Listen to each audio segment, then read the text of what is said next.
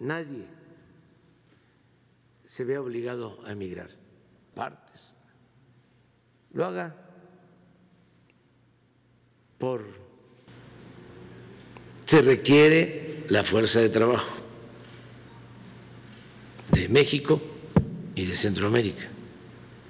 Entonces, en vez de eh, la ilegalidad por la migración como se ha venido eh, presentando, puede buscarse un mecanismo